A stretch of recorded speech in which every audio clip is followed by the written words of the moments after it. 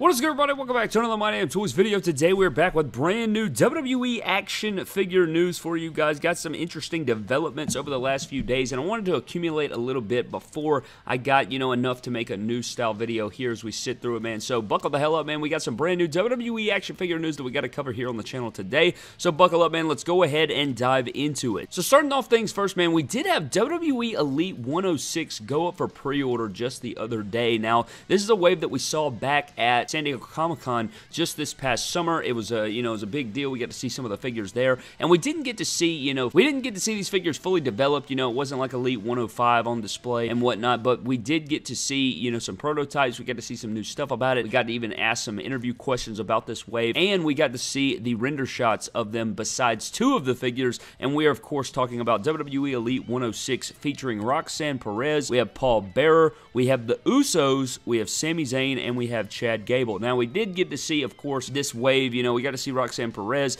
got to see her prototype and a render shot of her figure. She has like the stripe gear looking pretty good. We also got to see Chad Gable, who is going to match Otis, who's going to be in Elite Series 107. But Chad Gable looks really damn good. This looks like probably his best figure to date, especially with the updated stuff. You know, double jointed arms, great head sculpt, all those different things. We also got to see Sami Zayn, which is pretty much like his bloodline gear, right? His honorary Uce, Sami Zayn. I don't know if this is going to be like actually bloodline Sami Zayn or if it's going to be when he broke away from the bloodline. We'll have to see about that. You know, I can't really tell by the side of the gear, but head sculpt looks good. It is in his like cargo pants style stuff still going on. And then we got to see the Paul Bearer figure, which of course we got to ask Bill about and Steve at San Diego Comic Con in our interview process. And we did get to see, you know, the Paul Bearer figure there had the new torso, really large looking character there. He looks really good. Got some new stuff going on there. And it is a chase figure in that set. So you get the navy blue suit and you get the black suit with the colorful tie. Should be an interesting figure when it is all said and done. But the only two figures we did not see were the Usos, and there's a lot of speculation on what the hell they're going to look like. And in this little, you know, Elite 106 pre-order shot, it does have them in their red We the One shirt. Now, I do guarantee that we're going to get some cloth goods with these guys. I think if they just redid their black shirts but gave us, you know, the red shirts or the white shirts, that would be completely fine with me. I think, you know, there there's so many things you could do there. Also, you know, you could put those on their Uso Ultimates, especially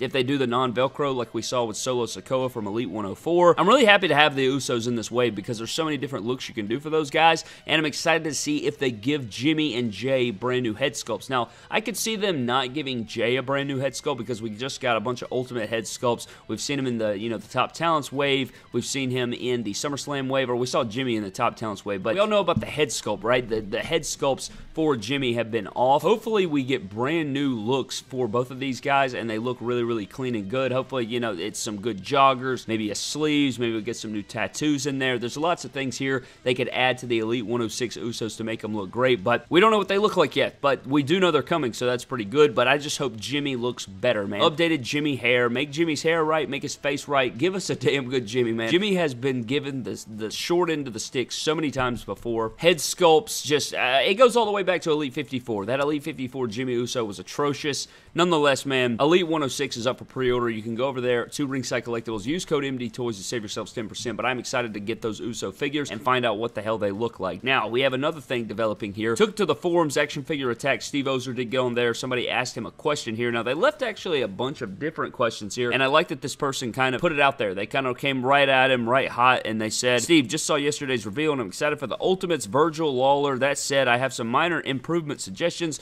Number one, can Kurt Angle's torso get updated? This is suffering from Eddie's Eddie Guerrero's problem, where it is too big. This torso should have saved for extra muscular guys like Warrior, Batista, Lashley. Can Kurt Angle next Ultimate come with painted singlet, just like Perfect? This looks loose and will get worse over time. Three, Lashley. Can we use their most memorable attires when it comes to Ultimates? I would have done Hurt Business, same problem as Randy Orton's Ultimate. Is that that's what I'm guessing? RKO Ultimate. And then he says, can all belts going forward be shiny? Nicholas belt looks dull like the Usos and should be like Randy Orton's Ultimate Edition belt. So a lot to unpack there, but basically, I mean, he came at him with all kinds of hot questions there. But Steve says the next time we get to a Kurt Angle Ultimate Edition, we're shooting for a new, unique singlet torso. So that makes me feel pretty good right there. Even though I think they could get away with the cloth singlet, I don't really mind this cloth singlet, like I've said before. I just hate the torso on the Kurt Angle. And we're going to fix up Kurt Angle, of course, when we get that figure in hand. But shooting for a new, unique singlet torso, I think, is the way to go, though. You can capture the perfect amount of musculature. You don't have to worry too much about it. Don't have to worry about the soft, you know, the soft goods getting loose over time. I mean, lots of great things about a singlet torso there. You just can't pull the straps down, which is a whole nother thing. I mean, that does bother me, but maybe one day, uh, you know, down the line we can fix that up or have something nice. But I hope they wait for that, you know, that new singlet torso. I hope that's when the Unforgiven 2001 Kurt Angle comes, but I guess we will have to wait on that. But I thought that was a very interesting thing, and I wanted to put that up to you guys so you guys could uh, check that out. Next up, we do have the new four pack. You guys know that we talked about that four pack, the shiny Target exclusive 60 years,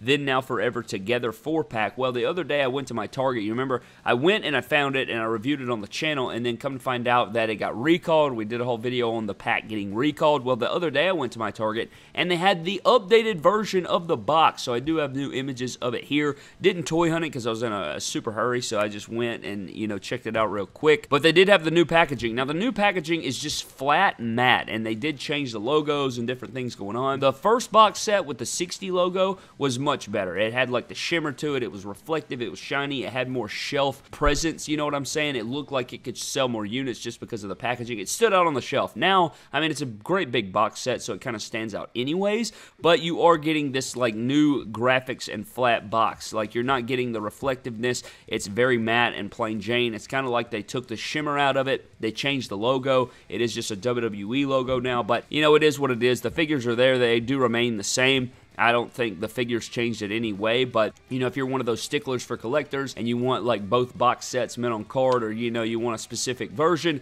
this version is hitting shelves, so you may want to go check that out and see if you can find that. It is hitting retail right now, especially with the Target reset, should be out there. The Ultimate Edition Rock should be out there. The Legends figures, all those different things are hitting, so you definitely want to go get in on all that action. And then the last thing that I want to talk about here today, man, is going to be a basic set getting canceled. Yes, a WWE action figure set getting canceled. Now, I have no idea why this would be, and we're going to dive into some speculation and things of that nature here, but the WWE Basic Series WrestleMania 40 wave featuring Seth Rollins, Batista, Roman Reigns, and Muhammad Ali is getting canceled. Now, Ringside Collectibles posted up that they were going to be giving refunds out and all these different things, but I thought this was so interesting because it just kind of seems like it's coming out of nowhere. And, you know, a lot of people were like, damn, you know, Mattel can't catch a break between like these things getting canceled and recalled and things of that nature, but it is a full basic wave. Now, it's very weird that it's a WrestleMania wave. I mean, I'm guessing that um, the only thing that I could possibly think of between all of this is that it has something to do with the Muhammad Ali, and that's the only thing that I could possibly think of, you know, but uh, I know they want to get a lot of reuse out of Muhammad Ali. You know, he has a retro figure, he has his Ultimate Edition. I'm sure they're going to try to get an elite out of him, and there's no telling really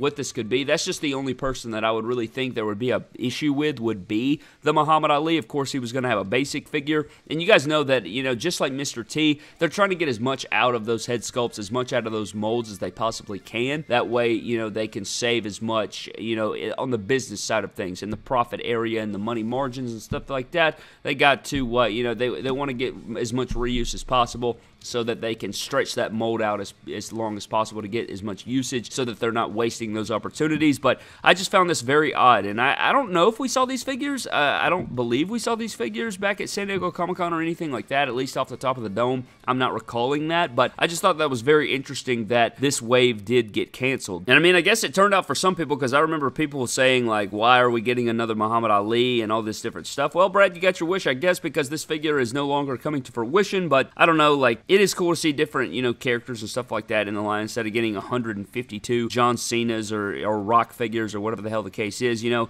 I think that uh, this is okay. I don't really have an issue with getting Muhammad Ali in this basic set, but no longer coming to fruition, man. So, I mean, I don't know what to tell you, Brad. All right, I, I went back and looked, and I don't see any of these figures, right? I don't see any of the uh, of those basic figures. So, I guess the render images were never released, and that's the only thing I can think of. If anybody has some insider knowledge or anything on why maybe those WrestleMania basics were canceled, you guys can let me know down in the comment section below. Of course, we do have like, I mean, like Roman Reigns, what would he have been? Like, it is the WrestleMania set, and having Seth Rollins in there, I'm sure that it was going to be like maybe his Cody gear. Batista apparently was going to be like his WrestleMania 35 gear, I think. Or maybe, you know, we've already had a basic of that. I don't, I don't know, man. Maybe it would have been his match against Triple H which we already got in Elite form, so I guess they're going to make that in basic form. And then I guess we're going to have a referee basic of Muhammad Ali, but I don't know. It's not like uh, end of the world scenario, you know. I do think it's weird, and if it was just one figure, why would they cancel a full wave? That's what makes it weird too. Is why would you cancel a full entire wave instead of just replacing the figure with like a repaint, or just give us three figures, you know? So I don't, I don't know what goes into that. I don't know all those back end questions and things like that. Maybe I can find out some information at a later date, of course. But nonetheless,